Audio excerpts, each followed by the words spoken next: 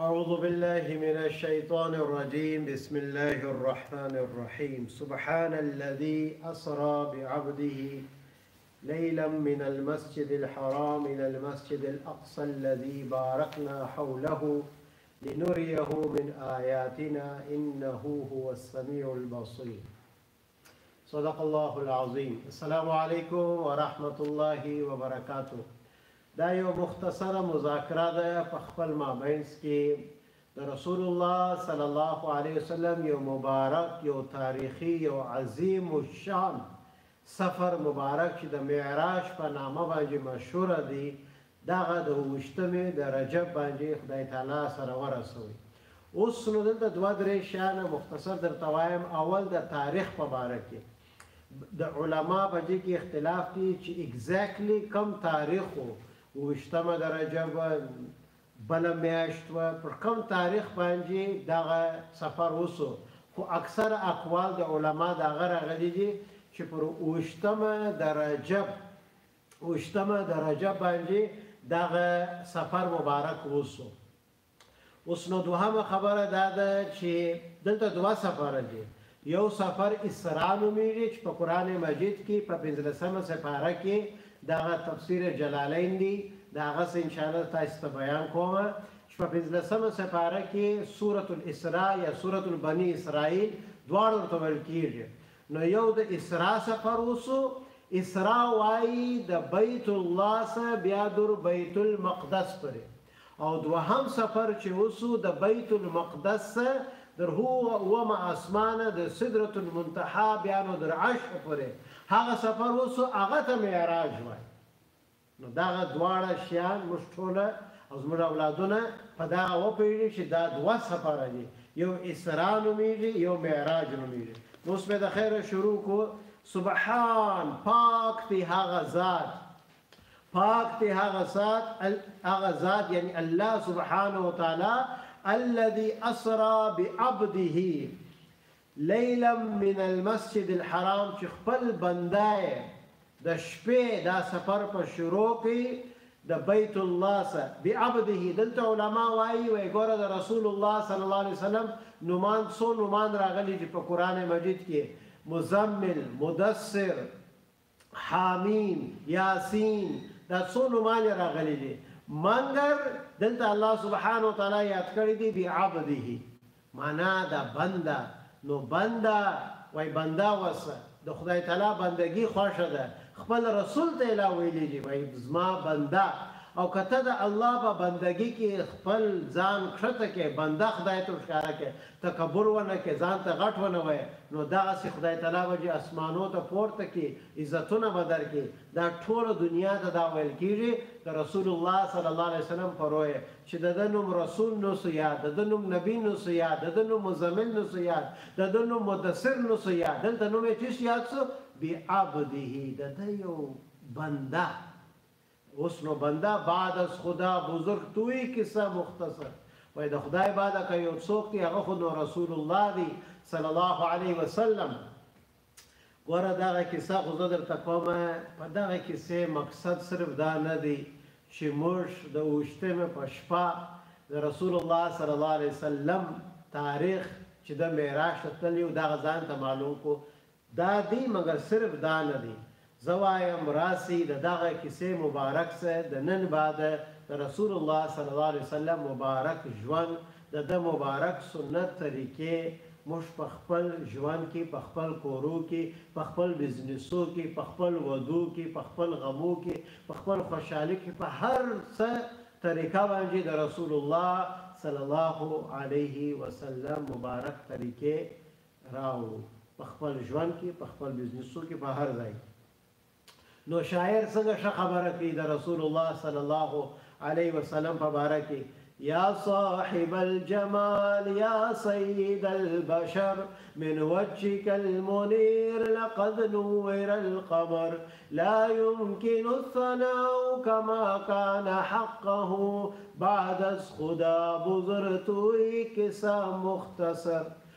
وای صاحب الجمال داسې ښایسته و یا صاحب الجمال یا سید البشر د ټوله دنیا باچا دی و من وجهک المنیر لقد نور القمر وای ستا د مبارک مخ څخه سپوږمۍ لا ښایسته شول بیا دی وایی لا یمکن الثناء کما کان حقه وایی څنګه چی د رسول الله صلی الله علیه وسلم ثنا بیان سی هیڅ څوک دا حق نسی پورا کولای معنی د رسول صلی الله علیه وسلم ثنا د د غټوالی یو څوک بیان کی په دنیا کی داسې هیڅ څوک نسته چې د جې حق ارادا کی نو وای کیسه مختصره ده د بعد از خدا بزرگ توری کیسه مختصر وای نو بس نو که د الله بعد یو څوک دی نو هغه رسول الله دی صلی الله علیه وسلم بل به حسان بن ثابت رضی الله عنه دی څه وایي احسن منك لم تر قط عيني دا د رسول الله صلی الله علیه وسلم شاعر حسان بن ثابت نن مسلمانان مور او پلار خپل د اولادو نوم حسان یې حسان بن ثابت دا هغه سړی وو چې خدای تعالی په ژبه کې داسې یو جادو ورکړی وو داسی شعرونه داسی بیتونه د کفارو په مقابله کی به ده ویل ولی کفار به را ولاړ سول په رسول الله صلی الله علیه وسلم به نعوذ بالله بدی بدی خبری کولی نو رسول الله صلی الله علیه وسلم به حسان ته ویل حسان بن ثابت ورورسه پر منبر کښینه دی ته جواب ورکه نو دی د رسول الله صلی الله علیه وسلم شاعر و، دی ده به چې رسول صلی الله علیه وسلم ته وکتله، ویې لیدله، نو ده دغه اشعار وویله، ول احسن منک لم تر قط عینی، درتا ښایسته زما سترګو نه دی لیدلې، اجمل منک لم تلد النساء، درتا ښایسته په دنیا په تاریخ کې یو مور نه دی پیدا کړې. احسن منک لم تر قط عینی اجمل منک لم تلد النساء خلقت مبرعا من کل عیب دی وای وای د هر عیب څخه ته پاک پیدا سوی یې کأنک قد خلقت کما تشاء دا اخري شعر خو نو بیخي زورور دی انک قد خلقت کما تشاء وایې ته داسې جوړ شوی یې، ته داسې پیدا شوی یې، ته الله داسې جوړ کړی یې، کله تا چې خپله الله ته وویل چې ته ما دغسې جوړ کړه صلی الله علیه وسلم الف الف مره. وای ته داسې ښایسته یې، سترګې دې داسې ښایسته دې، خوله مبارک دې داسې ښایسته ده، بدن دې داسې ښایسته دی، قد چې داسې ښایسته دی، وریښتان دې داسې ښایسته دې، که له تا چې الله ته وویله چې ما دغسې ښایسته جوړ کړ. نو اوس دغه کیسه ته بیرته راځو، ما دا وویله د کیسې مقصد دا دی کي راسي نيت وکو نيت وکو چي د نن بعد د رسول الله صلی الله عليه وسلم مبارک طريقه موږ په خپل ژوند کي راولو نو اسرا بعبده ليلا وايي په دغونه کوچني وخت کي الله سبحانه وتعالی دا ټول سفر په رسول صلی الله عليه وسلم وکړي ليلا معنا دا کوچني وخت بيخي لږ وخت په دا لږ وخت کي د رسول صلی الله عليه وسلم سفر وسو د کوم ځای څخه وڅو من المسجد الحرام بیت الله سبحان الله خدای دې بیت الله بیت خلاص کړي خدای تعالی دې دا پاندامیک ختم کړي چې ماشاءالله کورونه دې که خوندې دي ورته تږي دي ورته وږي دي نو جبرئیل علیه السلام دی بل ملائک څخه غالبا اسرافیل علیه السلام ورته رالی او د تیرو درځه انو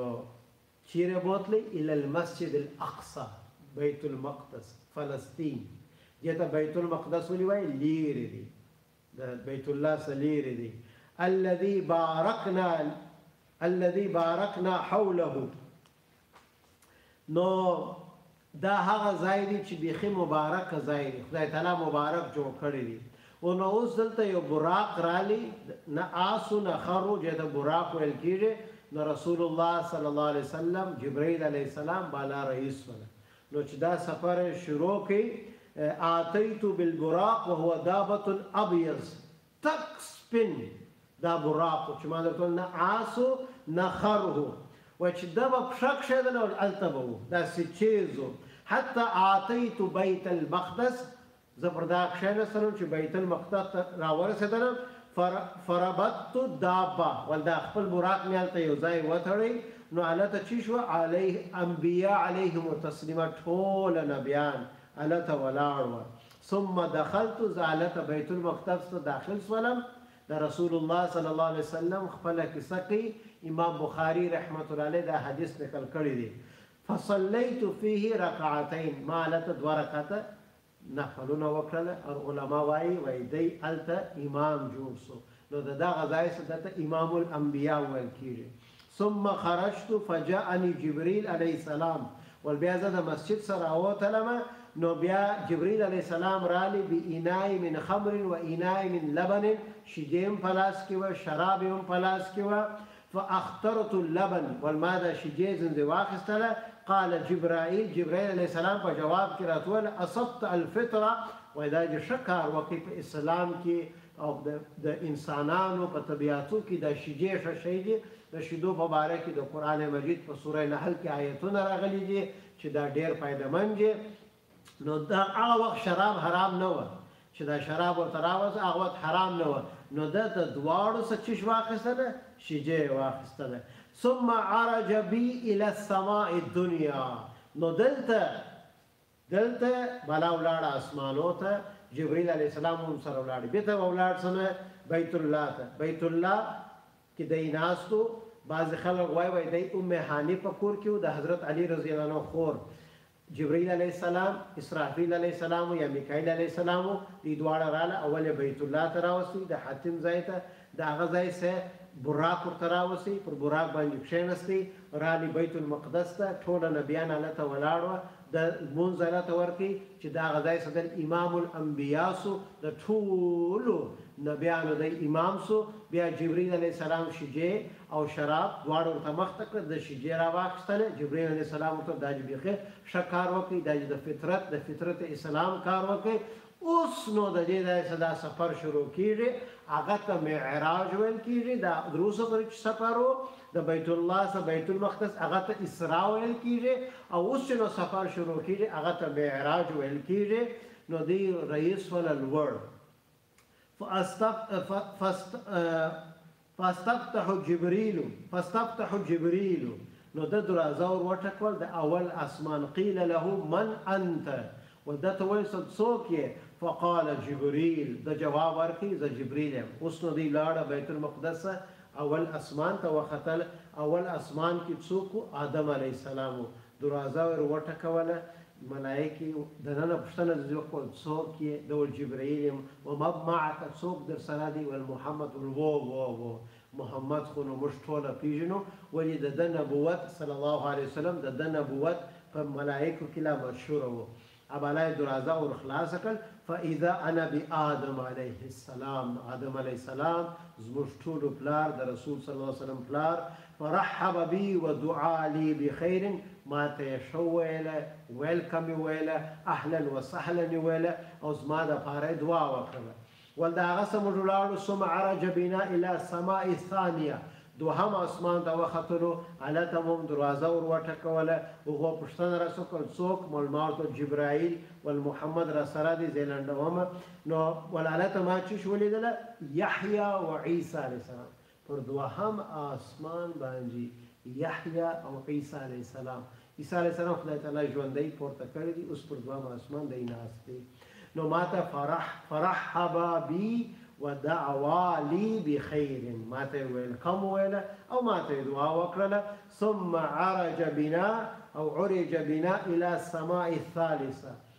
دريم آسمان ته وختلو هلته هم د هغه موږ څه وويل سول ول څوک مال جبرائيل او محمد رسله دي ور هلته څوک وو فاذا انا بيوسف يوسف عليه السلام هلته او دلته رسول الله صلى الله عليه وسلم وايي اعطي شطر الحسن حسني او کما قال وای د دنیا چی د ښایسته والی دوې حصې که پوره نیمه حصه ده ته ورکول سوې او نیمه حصه ټوله دنیا ته ورکول سوې وه ول بیا موږ څلرم ته ولاړو څلرم ته چی موږ ورسیدلو ول هلته څوک وو فاذا اذا انا بادریس ادریس علیه السلام هم هلته و، ده هم ویلکم راته وویل، دعا یې راته وکړل او بیا پنځم آسمان ته وختلو، فاذا انا بهارون، هارون علیه السلام پر پنځم آسمان باندې و، ول بیا د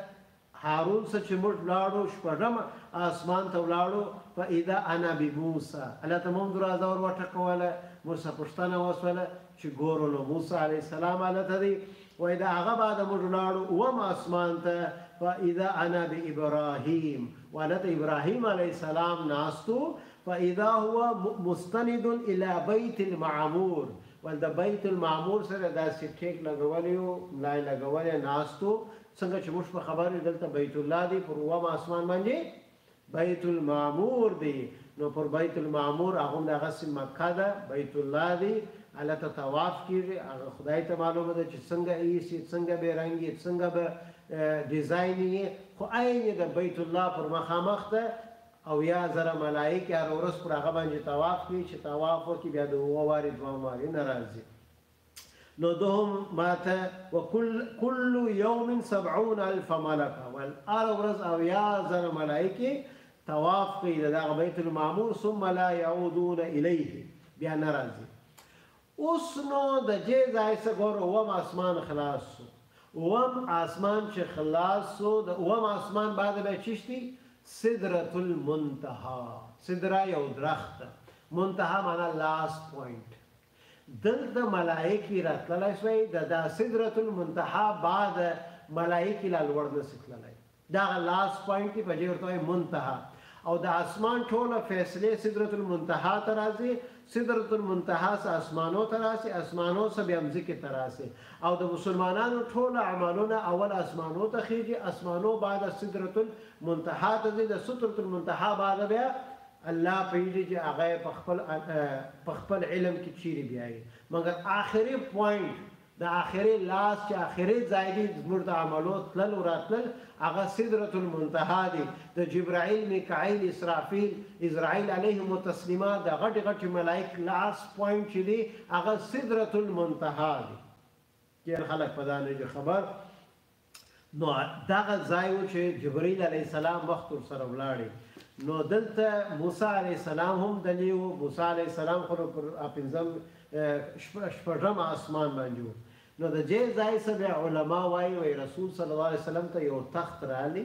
او بیا یې دی لوړ بوتلی چې لوړی بوتلی بیا نو عرش شروع سو وای دا رسول صلی الله علیه وسلم اولین او آخرین د ده در مخه نه او د ده بعده به هیڅ څوک دا ځای ته نه دي راغلي نه به ځي دغه ځای ته عرش ته الله سبحانه وتعالی دی بوتلی او بیا نو وای دی وو الله سبحانه وتعالی سره مخامخ سره التحیات لله والصلوات والطیبات دغه رسول الله صلی الله علیه وسلم ورته وویل بیا الله تعالی په جواب کې ورته وویل السلام علیک ایها النبی ورحمت الله وبرکاته بیا د رسول الله صلی الله علیه وسلم په جواب کې ورته وویل السلام علینا وعلى عباد الله الصالحین بیا نو ملائک ولا نشهد ان لا اله الا الله چې موږ گواهی ورکو چې بل الله هیڅوک د عبادت لایق نه او محمد الله رسول دی فکان قاب قوسین او ادنی وای بیخی الله سبحانه وتعالی او او رسول الله صلی الله علیه وسلم داسې په سوره نجم کې راغلي چې دوی دواړه داسې سره نږدې شول کله دوه د اوسپنې دا چې موږ دغه استعمالیږي ایرو چې دا زما یې بهرحال نوم را سهیر سو، دا نیزه چي موږ غورځوو، دا نیزه، نو دې خوا ته هم نیزه وه، دې خوا ته هم نیزه وه، چي دوغنه سره نږدې کړې، فکان قاب قوسین او ادنی، او بیا الله سبحانه وتعالی ورته وویل، دوغنه نږدې کړي،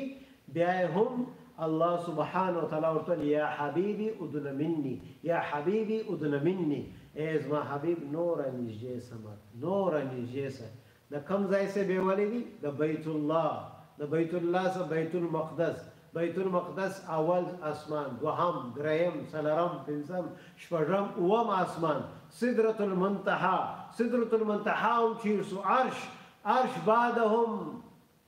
الله تعالی ورته وايي يا حبيبي ادن مني اي زما حبيب ماته نور را نږدې سه دغه د رسول الله صلی الله علیه وسلم مقام دی دغه کیسه مقصد بیته دغه ده چې د الله څخه وغواړو چې یا الله مبارک شپه ده یا الله مبارک شپه ده ما ته توفیق راکې چې د نن بعد هغه ژوند ته نسم لاړ چې ته خوابدی کېږې د رسول الله صلی الله علیه وسلم د ژوند په مطابق خپل ژوند وکړه ادلته نو لمنځونه فرض شول منځونه چې فرض شول فاوحا الی ما اوحا وفرض علی فی کل یوم ولیلة خمسین صلاة دا روایت امام بخاری کنټینیو کوي وایي وای پنځوس منځونه پر رسول صلی الله علیه وسلم امت باندې فرض شول فنزلت حتی انتحیت الی موسی وایي زه د عرش څخه راتا سوم لاندې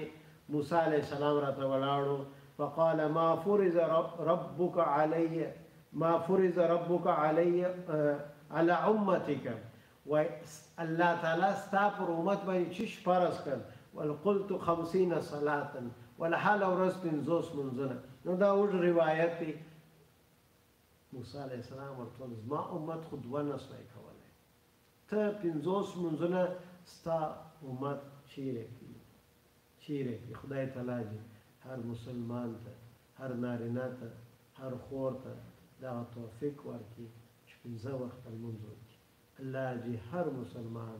لمونځ ګزار کړي او ښه ښایسته لمونځ چې خدای تعالی توفیق ورکړي غوره دغه د لمونځو تحفه چیرې ورکول سوې ده په اسمانو کې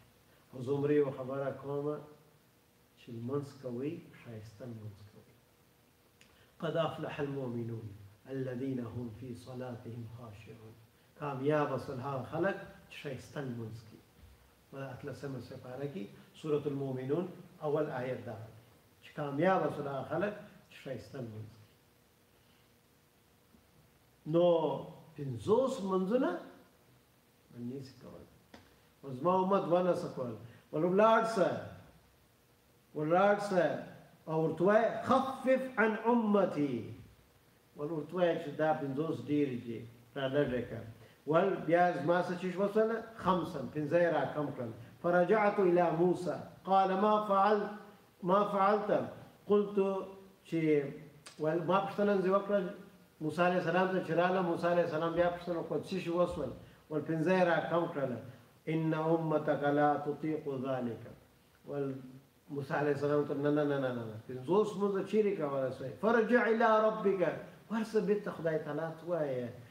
چی التخفیف لامتک چی ستا د امت لپاره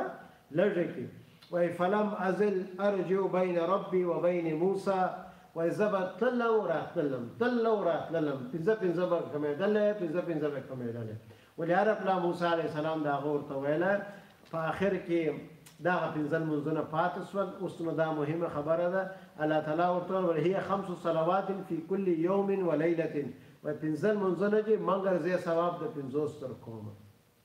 ولې زما په بارګاه کې که هر څوک که هر څوک یو نیکی راوړي زه لس من جاء بالحسنه فله عشر امثالها که یو ښه عمل وکړي لس ورکوم نو که د یو لمونځ وکړي نو لس لمونځو ثواب ورکوم نو زما په دربار کې خو پنځوس لیکل سوي دي هغه زه نه چینجوم مګر ستا امت په پنځوس کې پنځه به کړي مګر زه به د پنځو ثوابونه ورکوم مګر په ګناو کې داسې نه دی که ګناه دی وکړي یوه ګناه یې لیکمه مګر که ښه عمل وکړي که ښه عمل دی وکړي نو د درېوه ښه عمل باندې پر لس باندې ورکوم لس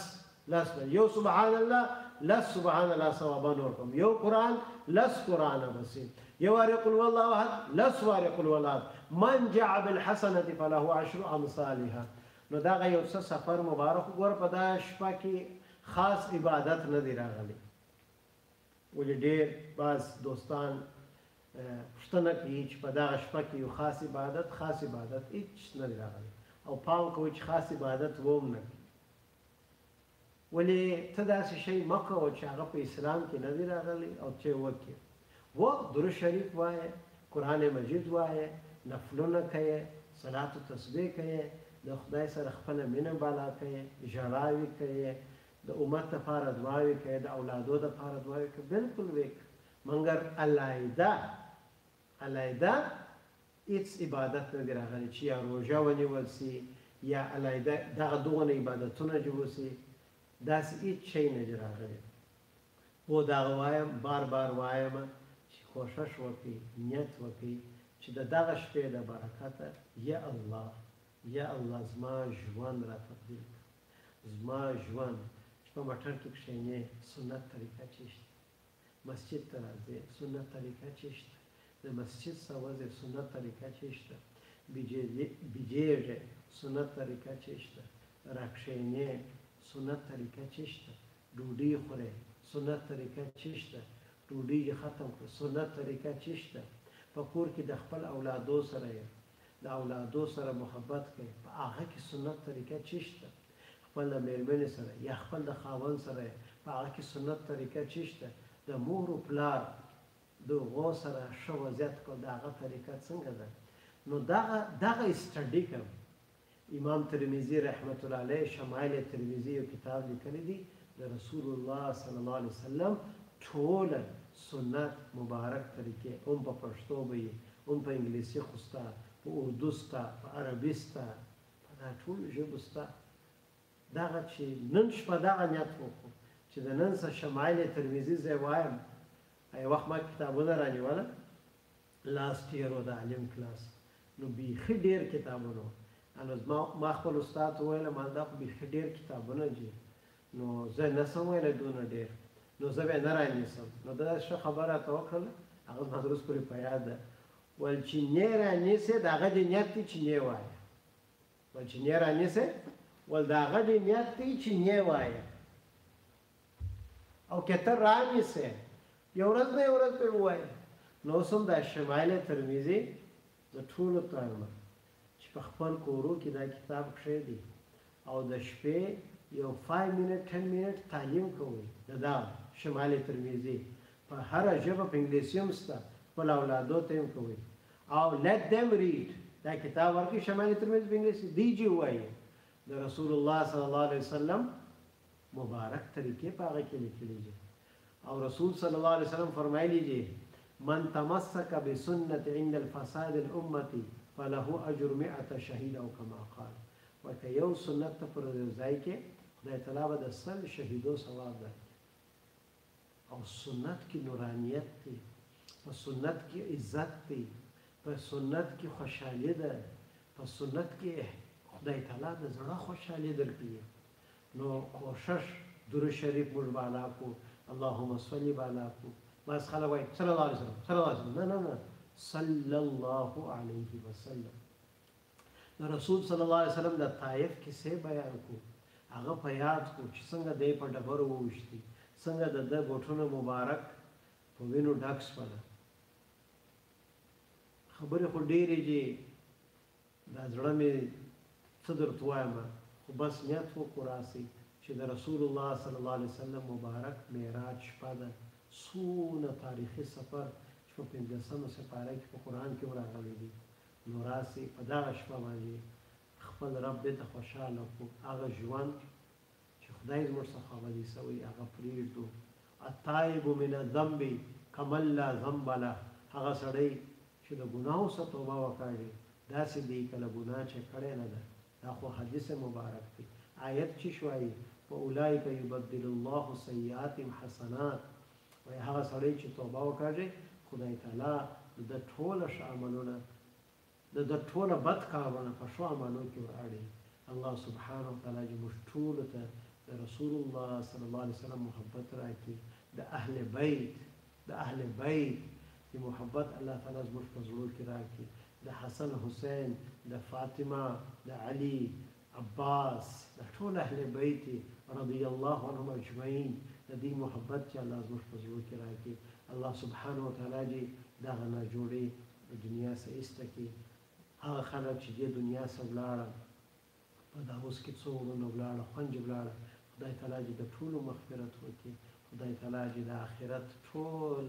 منزلونه دې لپاره آسان کړي هغه خلک چې ودونه نه لري خدای تعالی دې ودونه ورکړي